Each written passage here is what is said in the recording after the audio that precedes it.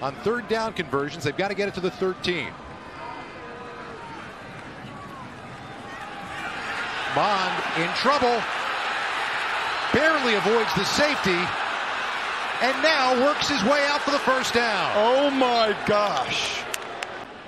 I mean, Robinson almost gets the ball, makes Jackson miss, makes Ojomo miss,